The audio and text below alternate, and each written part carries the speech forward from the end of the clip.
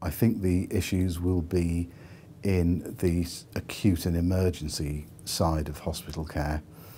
um, because these are generally pretty arduous jobs with onerous on-call rotas, um, a, a lack of planned activity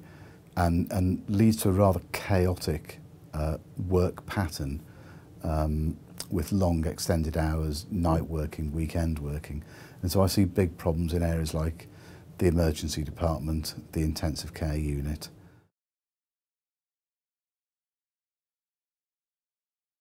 Well, I think we need to look at, at what needs to be done to reduce the demand for that acute care. And there are a number of things that can be done. So within the gift of the hospitals, um, it's about re-looking at the way we deliver care to emergency admitted patients admitted as emergencies and that might include greater involvement of care of the elderly physicians, of palliative care physicians, to redirect patients so that it, rather than coming to hospital every time they feel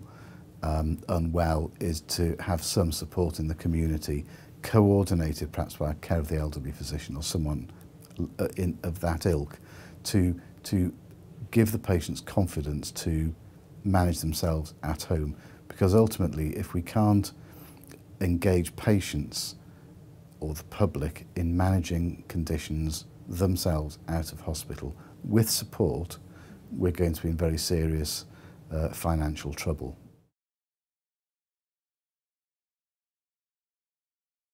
The point about funding all of this is that, and, and training is that we need to start training a workforce that is comfortable with dealing with patients at home. And that's starting to happen in some specific conditions. So chronic obstructive lung disease is a, is a condition that is now attracting a lot of interest because the ability to manage patients, for patients to self-manage and for patients to be managed at home is growing very significantly. And there's no reason why models like that couldn't be rolled out for cardiac failure for, and for other long-term conditions, for Alzheimer's even, where, where proper support in the home can allow people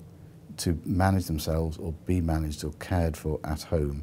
and reduce the demand for acute hospital care, which is pretty expensive and often very ineffective for these groups of patients.